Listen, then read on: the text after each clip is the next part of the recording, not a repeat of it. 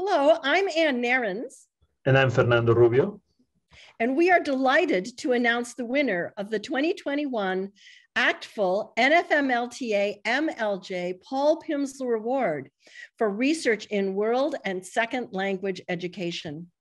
This prestigious award recognizes one study each year, which exemplifies an innovative design and rigorous research approach, and whose findings have a recognizable impact on the teaching and learning of languages.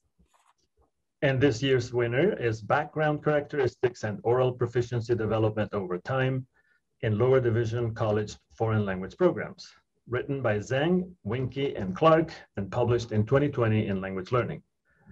The article maps oral proficiency growth of students in Chinese, French, Russian, and Spanish, and underscores the role that certain background characteristics such as heritage status or high school language learning experience have on the development of proficiency.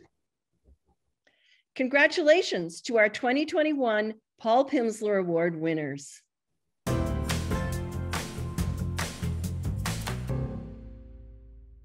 Hello, my name is Xiaowan Zhang. And I am Paula Winke. We're here to accept this award on behalf of ourselves and our co-author, Shaunna Clark. We would like to thank the award committee co-chairs, Fernando Rubio and Anne Nerenz. We thank the language flagship within the National Security Education Program for funding our project. And we thank Susan Gass for her support.